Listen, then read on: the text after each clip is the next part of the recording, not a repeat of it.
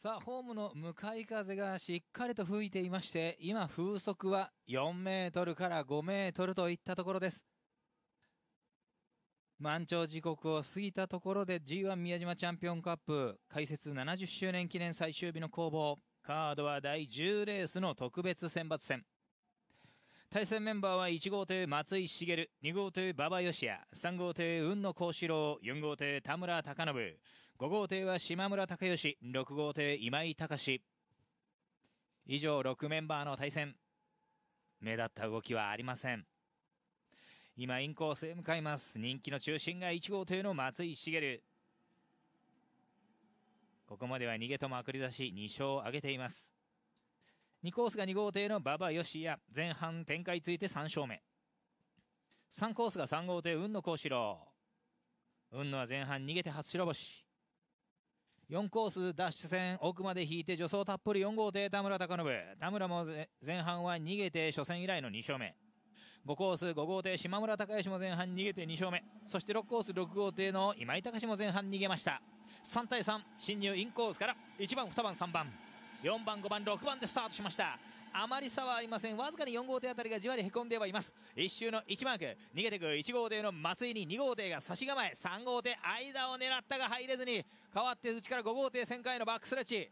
先頭は押し切った1号艇速攻で4停止に抜けて松井茂。2番手は3号艇。雲野が一歩前。一定審査で内から5号艇島村がやってきてスタートは正常でした。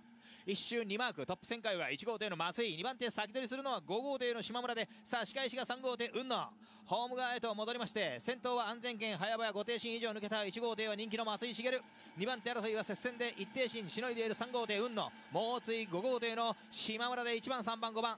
レースは2周目に入って1マーク注目2番手争いは3号艇の雲野が回ってそこを角度をつけた5号艇の島村でありますが6号艇の小回りあたりがちらっとやってきまして上位体系変わらずで1番3番5番。ここで2番手3番手その差が3停進と広がってあとは5停進相手4番手以降も2号艇6号艇4号艇と縦に長くなってきました。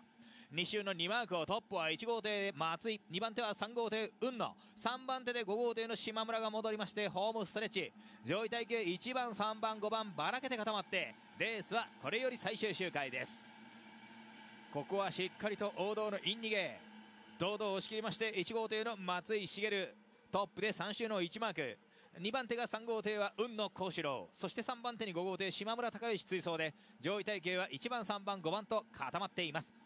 このままですと3連単は24.7倍。1番3番2連単ですと4.6倍を示しております。ラストターンマークトップで戻りました。人気に応えた1号艇松井茂。2番手は3号艇雲野幸四郎。3番手5号艇島村隆義戻って最後の直線。上位体系1番3番5番。第10レース先頭1番ゴールイン3番ゴールイン5番ゴールイン2番6番ゴールインラストで4番がゴールイン